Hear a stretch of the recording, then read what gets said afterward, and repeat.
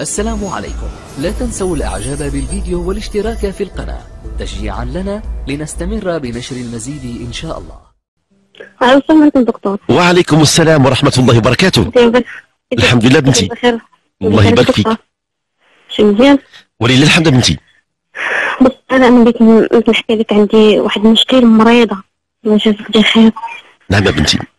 عندي العين والنص الخارجي قلت خير ديري واحد الدعاء في هذا الليل مبارك واحد الدعاء الله. يجازيك بخير. باش كتشعري بنتي سمية باش كتشعري بالضبط؟ عندي ضيق في الصدر ديالي. إيه. كان ضيق في الصدر ديالي ومتبعه ديال ديال الرقيه ولكن غاليه عليا شوية. ماشي. الله يشافيك يا بنتي. خمسة الحصص وقول لي زيدي خمسة الحصص اخرين خمسة الحصص عند الراقي؟ عند الراقي. نعم. وبعيد عليا كنمشي طرطازه عليا ومريضة ما شاء الله. هي المباركه واحد الدعاء الله يجازيك بخير. يا رب بنتي سمية يا رب يا ربي شكرا لك بنتي. ورز- ورز- نعم. صالح هاد الأيام الله يجازيك بخير هاد الليلة مباركة. اللهم آمين بنتي سمية. الله يشافيك ويعافيك ويداويك يا رب.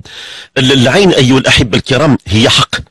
النبي صلى الله عليه وسلم قال لنا كلكم معين إلا من بورك إلا من بورك. اللي قال تبارك الله تبارك الله ما شاء الله هذا عين حسنة. العين هي آه، هناك من لا يؤمن بالعين. يقول لك أنا الناس بعد مني اش جاب العين. لا العين فيها طاقة.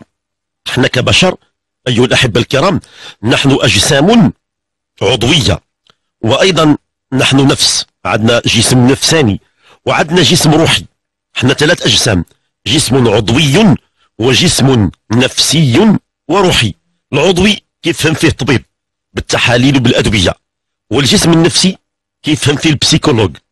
والجسم الروحي هذا هو اللي كيوقع فيه الخلل وحساس جدا. ملي كيضربك الإنسان بالعين راه ما كيضربكش في الجسم العضوي أو النفسي راه كيصيبك في الجسم الروحي. هو عبارة عن طاقة طاقة بحال الليزر. بحال دابا الآن حنا كنشوفوا في ال portable شكون كان كيظن بأن واحد في قارة والآخر في قارة وغيتكلم معاه عن طريق ال- الهاتف النقال. بل ويشوف معاه الصورة ويصيفط ليه رسالة عن طريق البلوتوث. مثلا شكون اللي كان كيتوقع غير منذ بضع سنين هذا الأمر؟ كذلك العين. العين حق تصيب الإنسان. شكون اللي كتصيبه؟ العين. الإنسان اللي كيقول لك دمه حلو. دمه حلو واحد النوع كاين هناك فصا- فصائل دموية. الأطباء كيفهموا فيها. أو بليس أو موا ولكن في الجانب الروحي هناك دماء كاين اللي دمه حار وكاين اللي دمه حلو. وكاين اللي دمه مر الناس أشكال وألوان. اللي دمه حلو دغيا كتشد فيه العين. اذا ما قالوش تبارك الله. وأحيانا قد تكون عين الأحبة.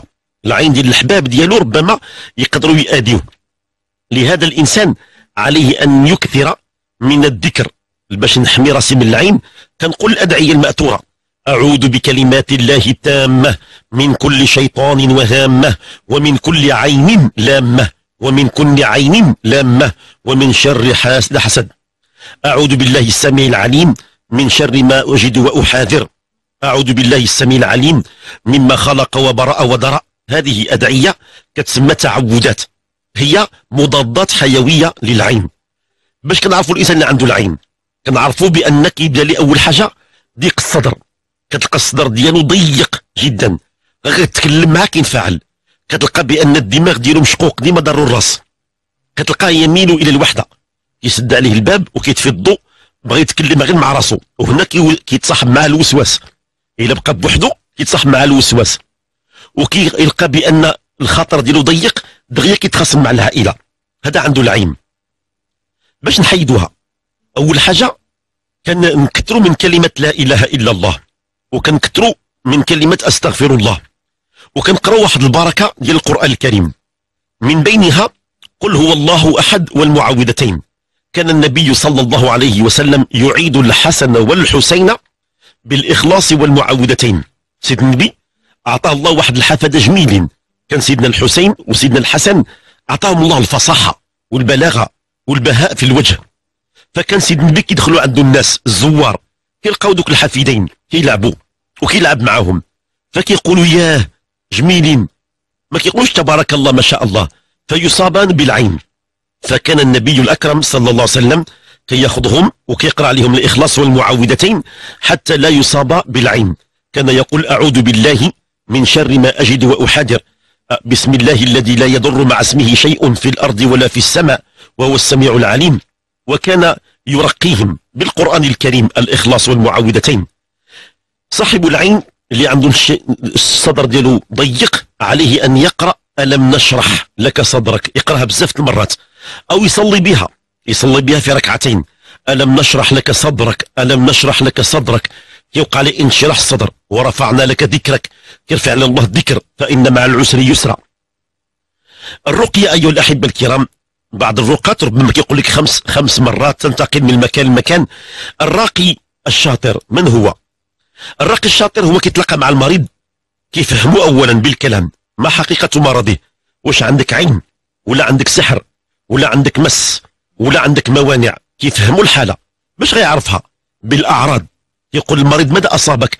يقول لي مجموعة حالات يقول لي هذه الأعراض تدل على أن عندك إما عين إما حسد إما آه، آه، مس وإما غير أوهام. كاين اللي كاع مريض هو عنده مرض الوهم. خصو لابد يفهموا الراقي اش عنده؟ يحدد ليه. ومعظم الناس عندهم غير الوهم. وكيتخيل لي بأن عنده العين وعنده المس وعنده كذا. فكيفهموا اولا. ثم بعد ذلك يقدر يقرأ عليه شي بركة ديال القرآن. يقرأ عليه. ولكن غادي يقول ليه الشفاء ليس من الراقي. الشفاء من الله جل جلاله. وانت أيها المريض احرص على أن تقرأ القرآن بنفسك. لأن أعظم رقية هي أن يقرأ المريض بنفسه. علاش؟ حتى المرض فين صابنا؟ صابنا في في الخلايا. في الهرمونات ديال الجسم ديالنا. فلما أقرأ بصوتي بصوت مرتفع الدبدبات الصوتية تفهمها الخلايا والهرمونات ديالي وتتأثر بها بسرعة فيتم الشفاء أسرع. هذا أحسن شفاء وأحسن دواء أن المريض يقرأ بنفسه على نفسه. متى يستعين المريض بشخص آخر؟ يستعين به إذا كان أمي لكن لا يقرأ ولا يفهم ممكن أن يستعين براقي يقرأ عليه. الراقي ليس من الضرورة أن يأتي خمس مرات. وإنما يقول للمريض إما أن يقرأ القرآن فإذا لم يحسن يقول لي عليك بالأذكار. والأذكار بسيطة. يكفيه أن يقول لا إله إلا الله. يكفيه أن يقول أستغفر الله. يكفيه أن يقول لا حول ولا قوة إلا بالله. يكفيه أن يقول إن لله وإن إليه راجعون. يكفيه أن يقول الصلاة على رسول الله.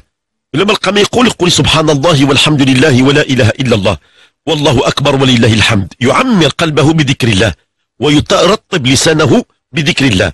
أنا ذاك جميع ما فيه غادي يمشي. للأسف بعض الرقات كيقول لي خمس ست مرات وكيبقى ذاك المريض عنده تعب ديال النقل من منطقة إلى منطقة ربما من مدينة إلى مدينة وتكاليف مادية تزيد في تعبه. تزيد في تعبه. وصية ذاك المال اللي عندي زيد غنعطيه للراقي من الأفضل أن أتصدق به على الفقراء والمساكين. علاش؟ الراقي نود يخدم لأن الراقي مش الرقية ماشي عمل. الرقية هي غير واحد الفضل من الفضائل الأعمال وإنما خصو يكون عنده خدمة عنده حرفة يأكل بها رزقه. ما يمد يده بالقرآن الكريم إلا إذا كان من باب التبرك فقط ومحدود جدا. وكاين بعض الرقاة الصالحين ذاك المال ما كيمستوش. يعود هو يتصدق به على فقراء ومساكين ويعتمد هو على عرق, عرق جمينه وربي كيكرمه سبحانه وتعالى الكريم الرزاق. فذاك المال ديال المريض عوض يبقى ينفقه هنا على الرقات يبقى يقول لي جيب كذا جيب كذا. يتصدق به على الفقراء والمساكين يسعد قلوبهم فيسعد الله قلبه. لأن الفقراء هم عيال الله. من بين بعد الصدقة داو مرضاكم بالصدقة نقولوا للمريض اللي عنده العين واللي عنده هذه الأرواح الخبيثة يسافر. سافروا تصحوا ربنا عز وجل أمرنا بالسفر. قل سيروا في الأرض. نغير المكان اللي أنا فيه نبدل ساعة أخرى يومين ثلاث أيام نمشي عند العائلة عند الأحباب نمشي الأوتيل مدينة ثانية نغير الدائرة اللي كنسكن فيها باش تغير لي الأجواء. وربي سبحانه وتعالى هو الشافي والعافي. بنتي سمية الله يشافيك الله يعافيك الله يداويك في هذه الليلة المباركة. ربي يغنيك عن غيره. اللهم آمين يا رب.